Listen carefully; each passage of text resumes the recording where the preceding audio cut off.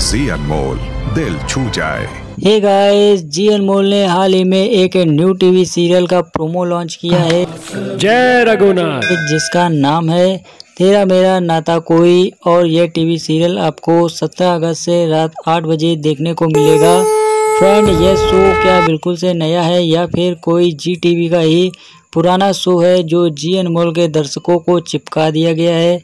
अगर आप ये जानना चाहते हैं कि नया है या पुराना और इस शो की स्टार कास्ट भी जानना चाहते हैं तो आप वीडियो को लास्ट तक ज़रूर देखें।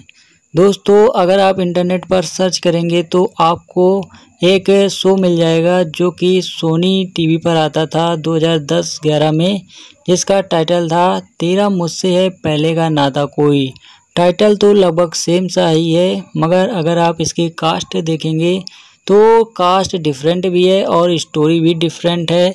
तो ये जी टीवी का भी शो नहीं है तो आप समझ सकते हैं, नया या पुराना, ये तो आपको तभी पता चलेगा जब आप पूरा वीडियो देखेंगे। तो चलिए आपको मैं इसकी स्टार कास्ट से रूबरू कराऊं। तो प्रोमो में दिख रहे व्यास जी का रोल प्ले किया है अयम मेहता जी ने और वहीं इनकी जो लड़की हैं, सरस्वती नोटियाल, उनका रोल प्ले किया है very popular actress Sonali Nikam ने। अगर आप जी टीवी देखते हैं तो आपने इन्हें ज़रूर देखा होगा।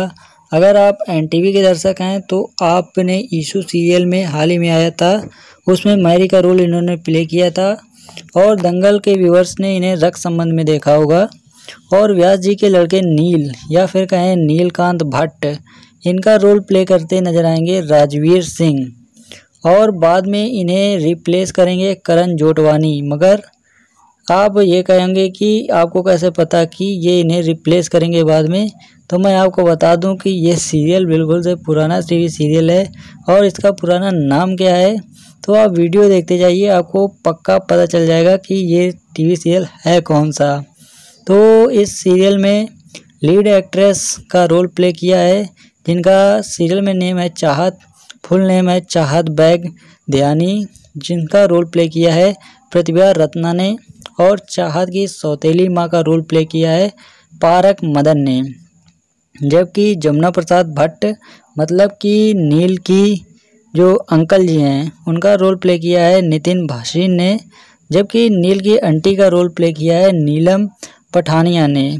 और सरस्वती के जो विधवा पति या विधुर कहें आलेख जी का रोल प्ले किया है निषाद वैद्य जी ने।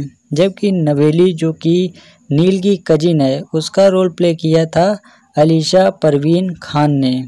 और ये शो आखिरकार पुराना शो है और इस शो का पुराना नेम क्या है, मैं आपको बता दूँ तो ये जी टीवी का very popular show Qurbaan Hua.